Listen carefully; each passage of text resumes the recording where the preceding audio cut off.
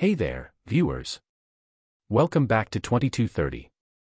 Today, we're diving into the realm of government engagement with social media influencers, particularly in Singapore, and the evolving conversation around transparency and accountability in these partnerships. In a recent parliamentary sitting on March 6, Mr. Tan Kiat How, Senior Minister of State for Communications and Information, shed light on the Singapore government's collaboration with social media influencers. This admission comes amidst growing scrutiny over such engagements and their transparency. Mr. Tan clarified that while there isn't a dedicated budget for influencer engagement, influencers may be roped in if their efforts complement broader communication initiatives. However, the effectiveness of these campaigns isn't solely tracked, raising questions about accountability and impact assessment. The discussion was sparked by a parliamentary question posed by Mr. Gerald Giam Song, a Workers' Party Member of Parliament. He probed into the existence of a budget for influencer engagement, the content disseminated by influencers, and how the success of these campaigns is measured. Additionally, Mr. Giam raised concerns about transparency, questioning whether influencers are mandated to disclose their sponsoring agency. This is crucial in maintaining transparency and ensuring that sponsored content is clearly identified. However, despite assurances from SMS TAN, concerns over transparency persist.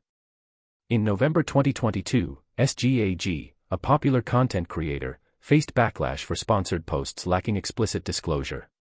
This raised valid concerns about transparency and the need for clearer guidelines in such partnerships. During last year's MCI budget debate, Ms. He Ting Ru and Mr. Leon Pereira highlighted similar concerns about transparency and accountability. Ms. He questioned the effectiveness of significant expenditures on public awareness campaigns, urging for the publication of key performance indicators, KPIs. Mr. Pereira emphasized the need for clear labeling on government advertisements, echoing concerns over SGAG's lack of transparency. Despite reassurances from SMS TAN, recent controversies suggest that transparency issues persist.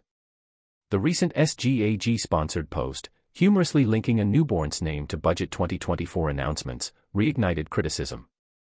Netizens lambasted the use of taxpayer funds for what they perceived as political promotion, calling into question the appropriateness of such expenditures. In conclusion, while government social media influencer partnerships can be effective in reaching wider audiences, transparency and accountability remain paramount. Clear guidelines and robust disclosure mechanisms are essential to maintain public trust and ensure that taxpayer funds are used responsibly. As always, we encourage you to share your thoughts in the comments below, like this video, and don't forget to subscribe to 2230 for more insightful content.